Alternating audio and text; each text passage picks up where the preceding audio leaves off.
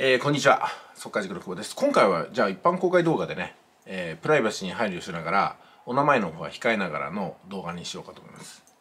えっ、ー、とキーワードとしては依存という言葉がね、え、随所随所に随所随所に入っていた すみませんメッセージだったんですけども、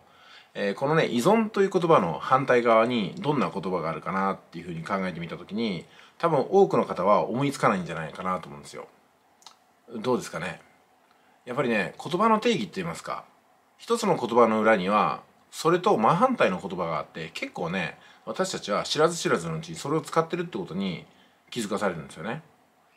まあ、例えばね給料っていうのがありますよね。お金をいただくって概念ですけども給料給料の反対側って反対語って何か分かりますかって聞かれて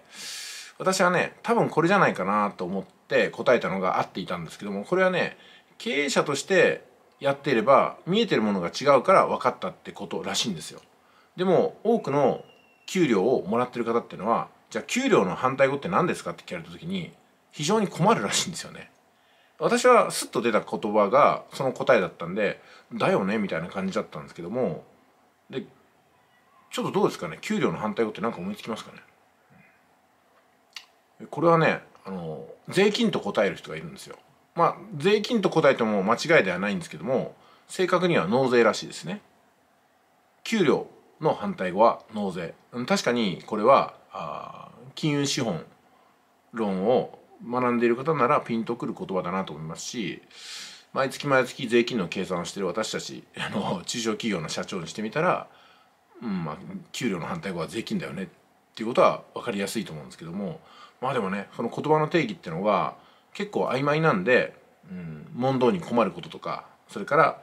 あ切り返しができなかったりね会話の切り返しができなかったりってことが起きるそうです。そこから生まれてくるのが誤解であるとかねそれから騙されるってことなんですよ。だから私は言葉の定義をより正確により広く使うことにはしてるんですよね。さあそれではね依存という言葉の反対語これは何でしょうかってことなんですけどもこれもね私はね中学の頃からこの依存の反対語はこれだよねっていうふうにあのなんとなく感じていたことだったんですよ。というのが試験に出なかったんですよねこれが。結局大学受験まで出なかったんですけども私は私なりにこの依存の反対語をまあ包容というふうね包容力ってあるでしょ？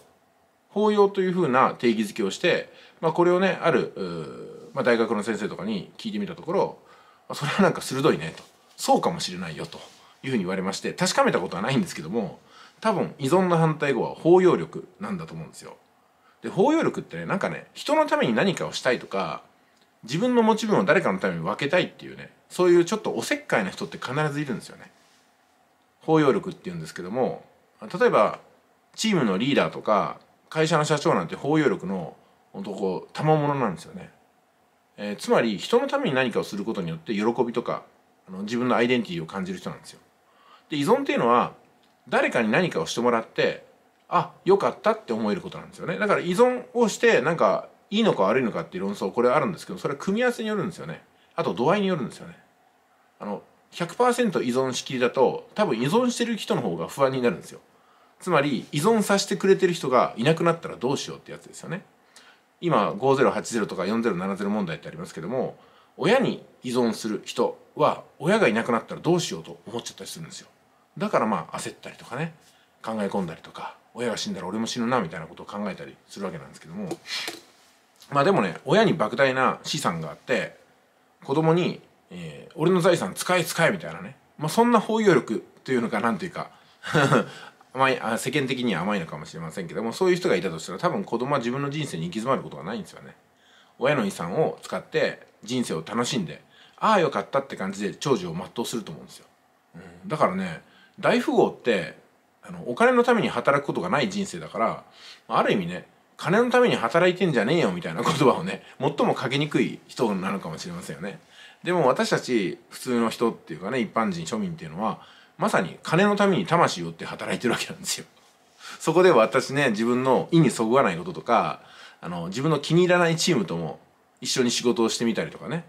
腹の中では嫌だと思ってもなんとなく自分を納得させて仕事だからしょうがないって感じで、うん、なんかミッションを達成させたりとかね、まあ、ここに入ってくるのが嘘ってやつなんじゃないかなと思うんですよ。だから人は苦しむのかなと思うんですよね。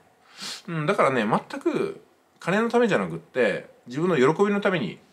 いわゆる仕事ができればいいなと思いますけどもそうなると今度は生活費を誰かに依存しなくてはならないってことになっちゃうんですよ。まあ、でも依存させてくれる人包容力の大きい人がいれば全く問題なくてね、えー、あんたは自由にやりなさいと。100%自分の求めた人生を送ればいいじゃないかと。いや生活のことは心配ないよと。どうぞどうぞみたいなね。そんなね人が、ね、たまに出てくるんですよね。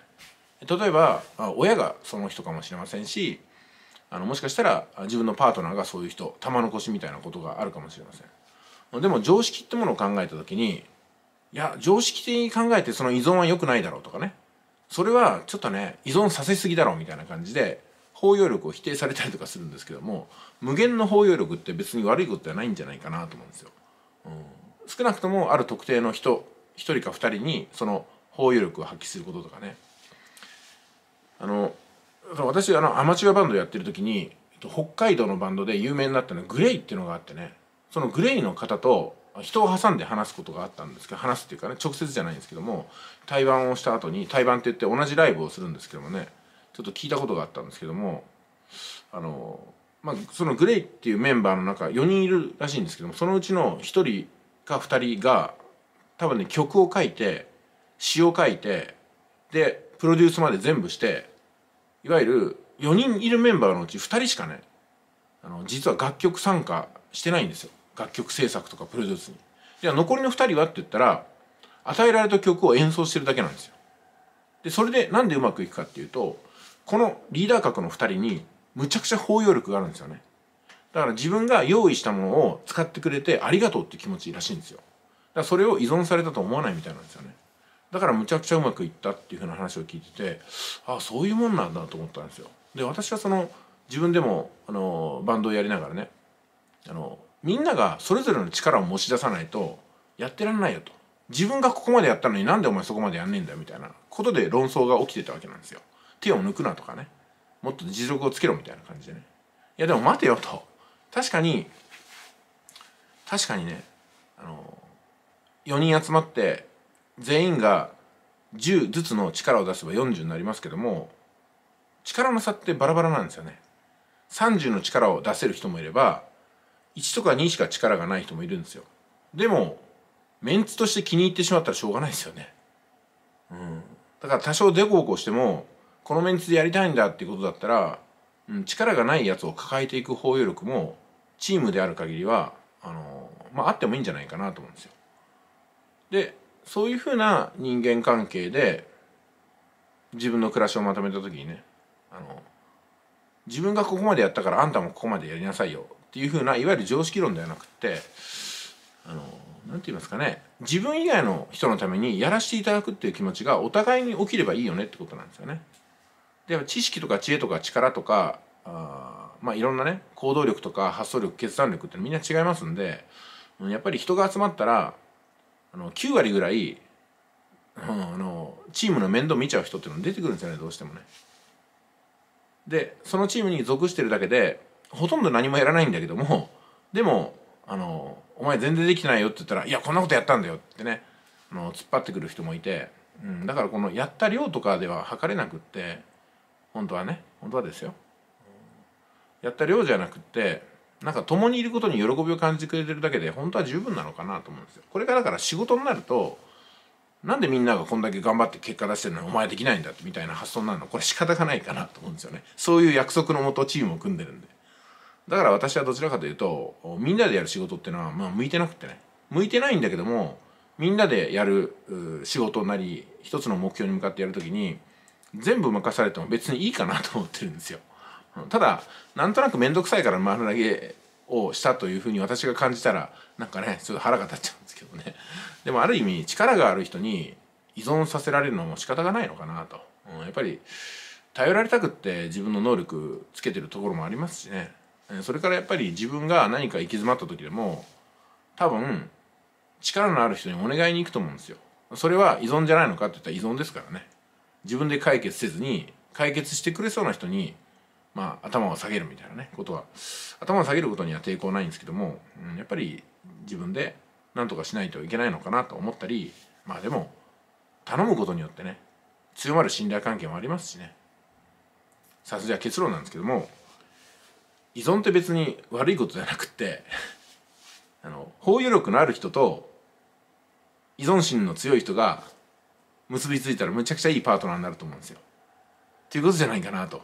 ぼんやりと思ったんですけどいかがでしょうか？なんか依存することが必ずしもねあの悪いことじゃなくてあの共依存ってのは悪いと思いますよ。悪いっていうかうまくいかないと思います。お互いに依存させてくださいみたいなのはこれはうまくいかないんじゃないかなと思いますけどね。でもなんかねあのいつも頼られる人といつも力を発揮する人の組み合わせってのはもしかしたらむちゃくちゃいいパートナーになるんじゃないかなと。思いますよね。いろんな環境で。どうですかね。だからその組み合わせが見つかるまで、まあ、いろんな場面で、うん、人と人が磨かれていくのかなと、思ったりねするんですけどね、まあ、どうなんですかね。はい。じゃあ今回の気づきとしてはですね依存の反対語は包容力ということで私は一つの説を立てたけどもどうやら今のところそれは否定されずにあ確かにねって思えることのが多かったんでまあまあ正解じゃないかなと思うんですけどもいかがでしょうか？いってらっしゃい。